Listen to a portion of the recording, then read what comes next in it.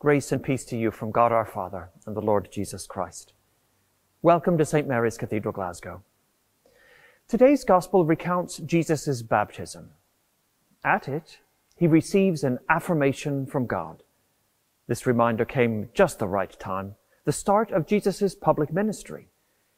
Maybe we need to hear a similar pronouncement as we navigate the start of something new this new year. Let us listen for the reminders woven into this liturgy that speak of God's presence with us. Almighty God, to whom all hearts are open, all desires known, and from whom no secrets are hidden, cleanse the thoughts of our hearts by the inspiration of your Holy Spirit, that we may perfectly love you and worthily magnify your holy name. Through Christ our Lord. Amen. God is love, and we are God's children. There is no room for fear in love. We love because God loved us first. Let us confess our sins in penitence and faith. God our Father, we confess to you and to our fellow members in the body of Christ that we have sinned in thought, word, and deed, and in what we have failed to do. We are truly sorry. Forgive us our sins and deliver us from the power of evil. For the sake of your Son who died for us, Jesus Christ our Lord.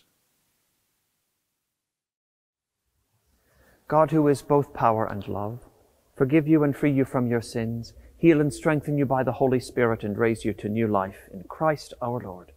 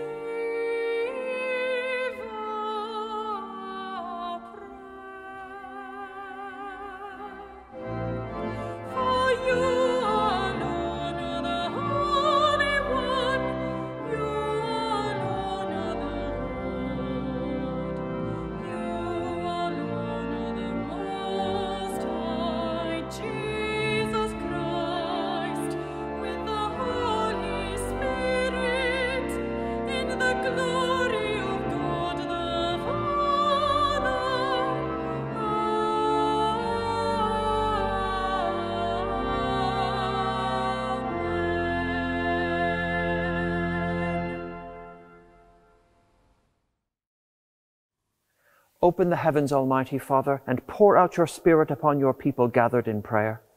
Renew the power of our baptismal cleansing and fill us with zeal for good deeds. Let us hear your voice once again, that we may recognize in your beloved Son our hope of inheriting eternal life. Grant this through Jesus Christ, your Word made flesh, who lives and reigns with you in the unity of the Holy Spirit, in the splendor of eternal light, God for ever and ever.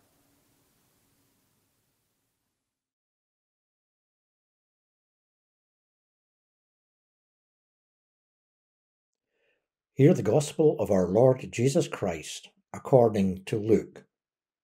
Glory to Christ our Saviour. As the people were filled with expectation, and all were questioning in their hearts concerning John whether he might be the Messiah, John answered all of them by saying, I baptize you with water, but one who is more powerful than I is coming. I am not worthy to untie the thong of his sandals. He will baptize you with the Holy Spirit and fire. His winnowing fork is in his hand, to clear his threshing floor, and to gather the wheat into his granary. But the chaff he will burn with unquenchable fire. Now, when all the people were baptized, and when Jesus also had been baptized and was praying, the heaven was opened, and the Holy Spirit descended upon him in bodily form like a dove. And a voice came from heaven you are my Son, the Beloved. With you I am well pleased. Give thanks to the Lord for his glorious gospel. Praise to Christ our Lord. If you really want to get a bunch of theologians arguing, put them in a room with this week's gospel and tell them that they've not to come out until they can give a brief, concise, and comprehensive answer to the question why was Jesus baptized? After all, it feels as though that's the task that preachers have when this gospel comes up and when we celebrate this feast, remembering Jesus being baptized. John came with a baptism of repentance. Jesus came and asked to be baptized. And people ever after have asked, why?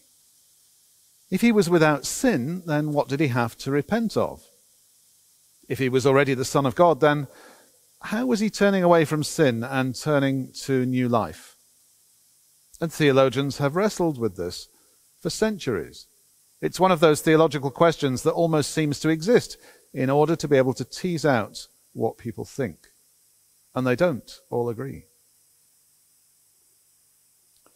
When I was a theological student in St Andrews, I was the member of a college which sat in a very beautiful quadrangle it was a lovely place to debate theological truths. There was a big tree that you could sit under, and there was a small flock of doves which the college janitor fed every day at lunchtime. And there was an oft repeated story that one of the lecturers had been in full flight in one of the classrooms one year, a lecture that not everyone was entirely able to understand. And there came a tapping on the window. Now, this was several floors up, so tapping on the window there should not have been. The lecturer carried boldly on. But the students became more and more distracted by the tapping, and soon every eye was facing the window, where one of the college doves was determinedly tapping away, trying to get in. The lecturer paused for breath for a moment, and the gap was filled by one of the students. Look, look. It's the Holy Spirit trying to get in.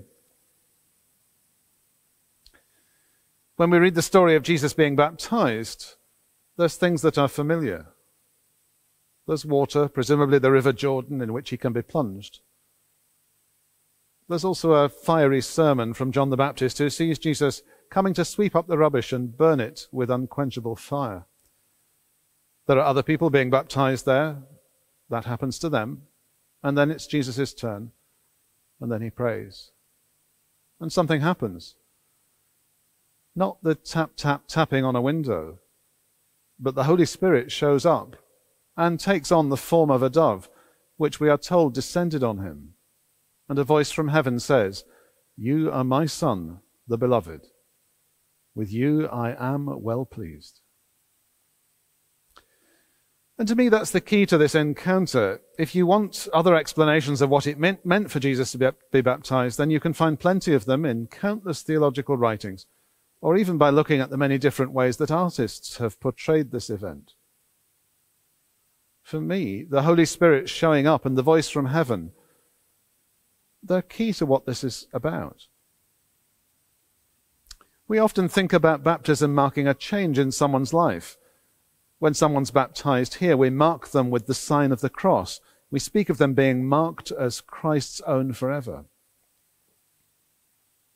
The idea is that baptism is some kind of indelible sign of God's love and of the person belonging utterly to God. For me, the Holy Spirit showing up and the voice from heaven, they don't change Jesus. I think it's that baptism, as people knew it then, was changed. Baptism was baptized. Baptism remains, but it isn't baptism as John the Baptist was practicing it. the dove from heaven cools the fiery message considerably. No more the talk of who is worthy. No more the talk of winnowing forks or clearing the threshing floor. No more talking about people as though some are chaff to be burnt and cast away. Baptism changes when Jesus is baptized, and that change is sealed by the Holy Spirit. It becomes more a blessing than anything else. You are my son. You are the beloved. With you I am well pleased. I wonder what John the Baptist made of all of that. There is nothing wrong with calling people to repentance. I find myself doing it quite a lot when I'm watching the television news. But the way of the baptized Lord that we follow is a way that isn't just about shouting at people that they're wrong, that isn't just about proclaiming that we know better, even if we do. It's not just about being right. You are my beloved. With you I am well pleased. For me, the faith that we proclaim here is proclaimed as we dare to hope that God looks on every soul as being beloved. And that we all have the potential to be seen as well pleasing in God's sight. And when we repent and turn around, it isn't so much about a list of things that we shouldn't do or people we must not be, but more that we are turning to face a God who loves us very much indeed. It is into that love that those who are baptized are plunged. The baptism of John has been baptized and changed forever. And it isn't just Jesus who is beloved. In the name of the Father, and of the Son, and of the Holy Spirit. Amen. Let us pray for the life of the world, that God's peace may be known and may prevail. For our city council and borough councils, for community councils, elected members and staff, may they decide and work for the good, blessed in God. Lord, hear us. Lord, graciously hear us. For all who suffer injury, death, or loss. For Jill and her family. For those who struggle with the COVID pandemic.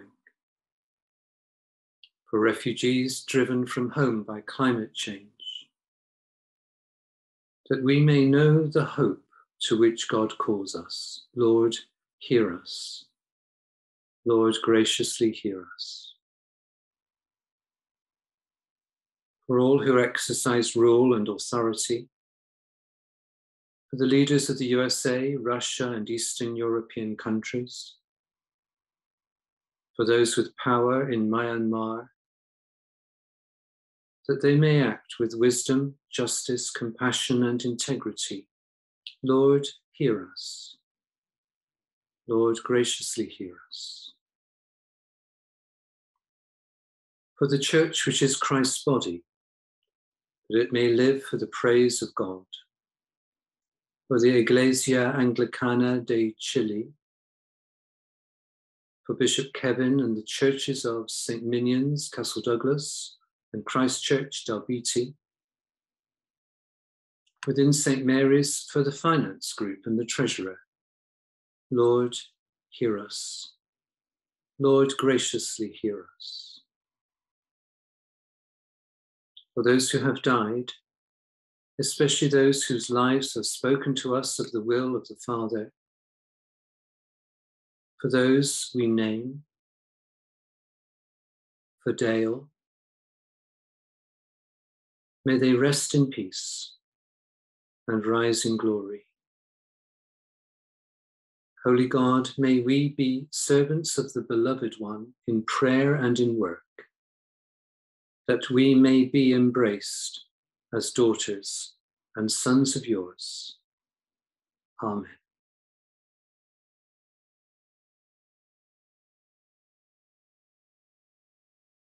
Baptism, like so many religious rites, is a sign. One of the things it signifies is dedication and commitment. It's a sign people make to show faithfulness. Many people also signal their commitment with the money they donate to the things they support. If you'd like to learn more about sustaining this place through a demonstrative act of giving, visit www.thecathedral.org.uk and click Donate to St. Mary's Cathedral. Let us present our offerings to the Lord. Yours, Lord, is the greatness, the power, the glory, the splendor, and the majesty. For everything in heaven and on earth is yours. All things come from you, and of your own we give you.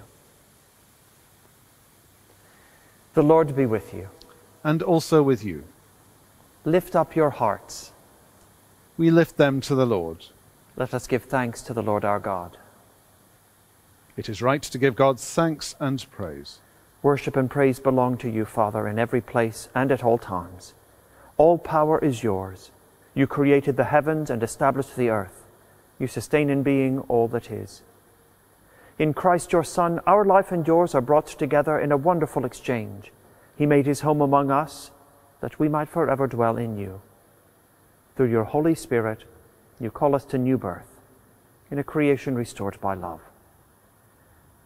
as children of your redeeming purpose, who are marked with the seal of your Spirit for the day of our final liberation, we offer you our praise with angels and archangels and the whole company of heaven, singing the hymn of your unending glory.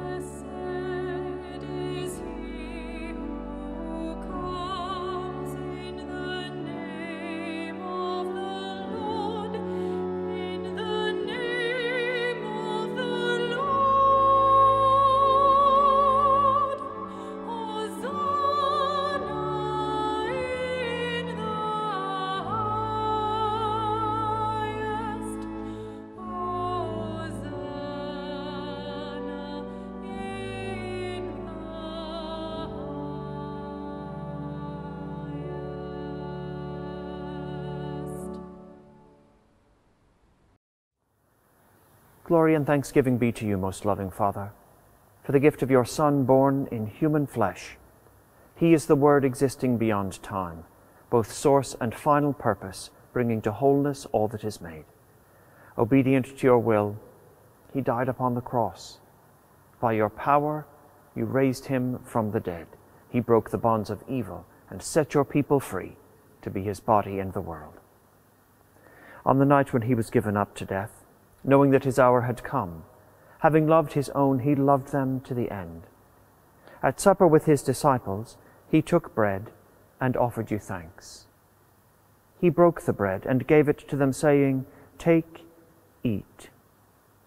This is my body, it is broken for you.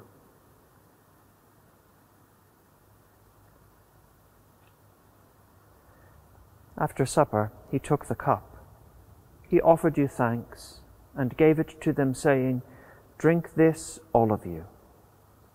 This is my blood of the new covenant. It is poured out for you and for all that sins may be forgiven. Do this in remembrance of me.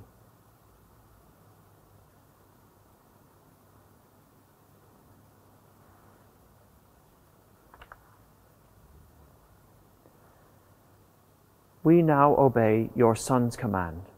We recall his blessed passion and death, his glorious resurrection and ascension, and we look for the coming of his kingdom. Made one with him, we offer you these gifts, and with them ourselves, a single, holy, living sacrifice. Hear us, most merciful Father, and send your Holy Spirit upon us, and upon this bread and this wine that overshadowed by the Spirit's life giving power, they may be the body and blood of your Son, and we may be kindled with the fire of your love and renewed for the service of your kingdom. Help us who are baptized into the fellowship of Christ's body to live and work to your praise and glory. May we grow together in unity and love until at last in your new creation we enter into our heritage in the company of the Virgin Mary, the apostles and prophets, and of all God's children, living and departed, through Jesus Christ our Lord, with whom and in whom, in the unity of the Holy Spirit, all honor and glory be to you, Lord of all ages, world without end.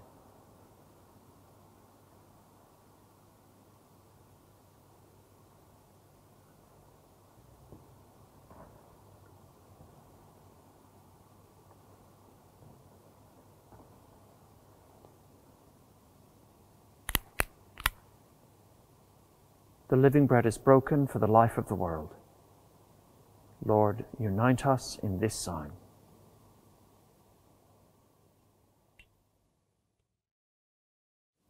As our Saviour has taught us, so we pray. Our Father in heaven, hallowed be your name. Your kingdom come, your will be done on earth as in heaven. Give us today our daily bread. Forgive us our sins, as we forgive those who sin against us.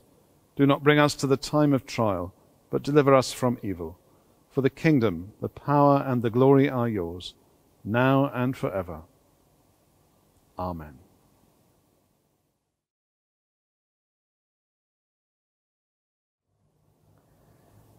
God is with us wherever we are. As we gaze in adoration, we feed on God in our hearts and minds that we may in turn feed the world. O God, even as this broken bread was scattered over the hills and was gathered together and became one, so let your church be gathered from the ends of the earth into your kingdom. For yours is the glory and the power through Jesus Christ forever.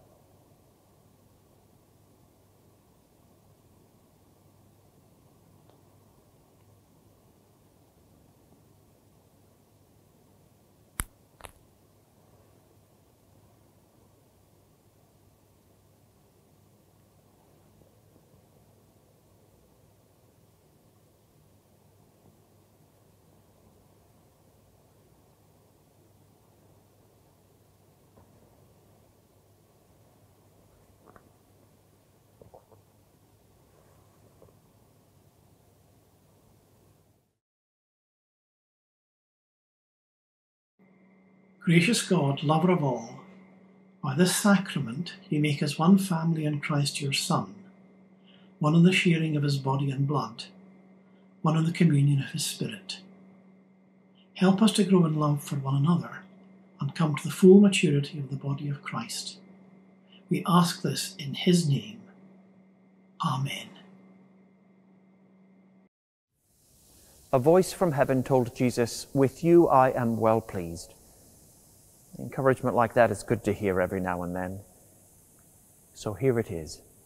You are a beloved child of God, and like Jesus, God has chosen and marked you with God's love. Take confidence in this new year to begin with hope. Christ, the Son of God, gladden your hearts with the good news of his kingdom, and the blessing of God Almighty, the Father, the Son, and the Holy Spirit be among you and remain with you always.